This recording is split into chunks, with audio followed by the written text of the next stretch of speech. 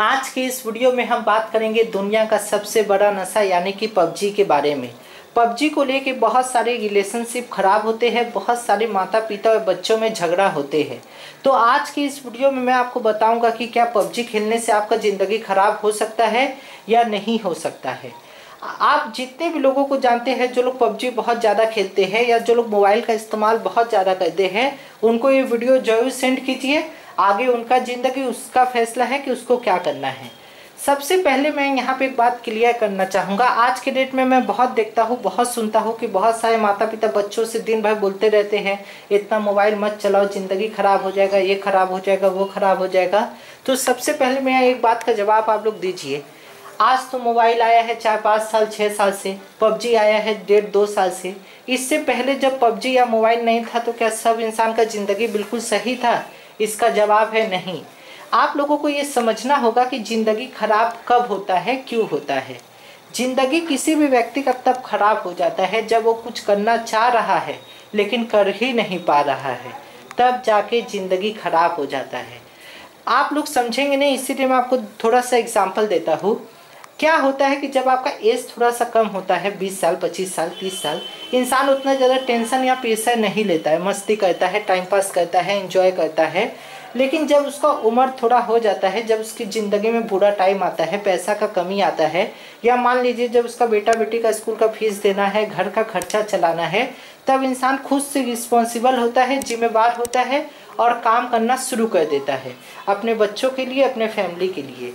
अब उस टाइम जो इंसान के अंदर गुण है क्वालिटी है, वो लोग ठीक काम करता है, उन्नीस बीस कैसे भी करके पैसा कमा के अपना घर चला लेता है, अपना ज़िंदगी नॉर्मल चला लेता है।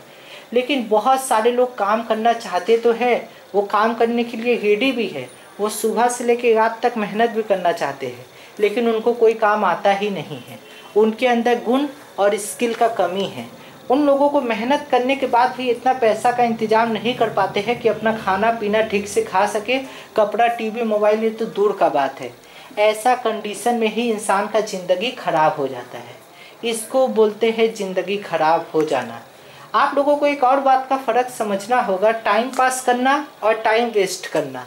ये दोनों में बहुत फ़र्क होता है। टाइम पास तब होता है जब हम कोई जगह पे जाकर टाइम पास कर गए जिससे हमको मज़ा मिल रहा है।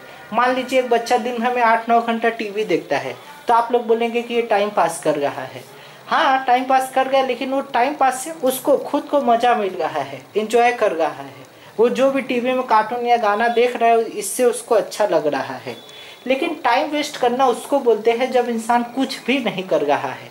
ना ही इंजॉय कर रहा है, ना ही कोई नया चीज़ सीख रहा है, ना ही किसी का मदद कर रहा है। मतलब कि वो दो घंटा, तीन घंटा में कुछ नहीं किया नथिंग इसको बोलते हैं टाइम वेस्ट कर देना। और ऐसे ही लोगों का ज़िंदगी बर्बाद होता है, ना कि उन लोगों का ज़िंदगी जो लोग टाइम पास करते हैं।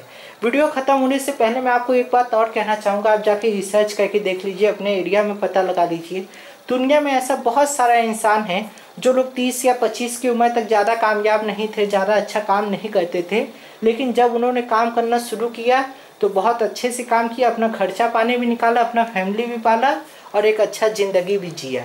तो वीडियो ख़त्म होने से पहले मैं आप लोगों को एक ही टिप्स देना चाहूँगा। अगर आप चाहते कि अपना ज़िंदगी ख़राब ना हो, अगर ये कोई छोटा बच्चा मेरा वीडियो देख रहा है, या आप चाहते हैं कि आपका बच्चा का ज़िंदगी ख़राब ना हो, कोई माता पिता भी मेरा वीडियो देख रहे हैं तो आपको अपने अंदर और अपने बच्चों के अंदर गुण, यानी कि स्किल पैदा करना चाहिए। स्किल पैदा करके आप छोड़ दीजिए। आपको इतना विश्वास होना चाहिए कि हाँ मेरा बेटा, मेरा बेटी के अंदर इतना क्वालिटी है कि अचानक कभी इसके ज़िंदगी में बुरा टाइम आएगा तो पैसा कैसे कमाना है? कौन सा काम करना चाहिए? इतना इसको हम सिखा के मर गए हैं। हमको कोई टेंशन का बात नहीं है।